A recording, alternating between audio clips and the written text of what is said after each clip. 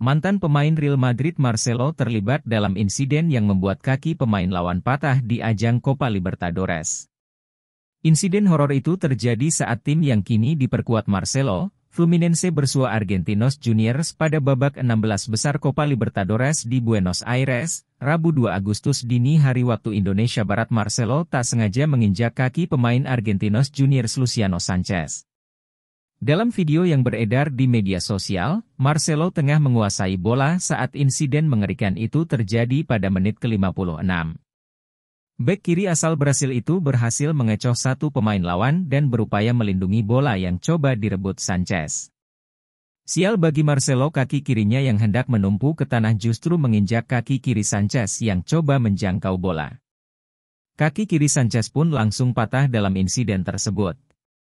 Marcelo tampak menangis setelah insiden itu.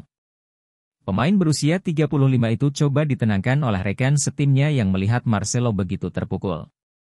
Insiden horor itu membuat Marcelo diusir dari lapangan oleh wasit yang memimpin pertandingan. Laga ini sendiri berakhir dengan skor imbang 1-1. Marcelo sempat menahan tangis dan menutup wajah menggunakan jersey saat Sanchez mendapatkan perawatan medis. Melalui unggahan di akun Twitter sosial miliknya, Marcelo mengaku terpukul dengan insiden yang melibatkan dirinya tersebut. Hari ini saya harus menjalani momen yang sangat sulit di lapangan. Saya secara tidak sengaja melukai sesama pesepak bola. Saya mendoakan pemulihan terbaik buat Luciano Sanchez, tulisnya. Editor Dedi Suada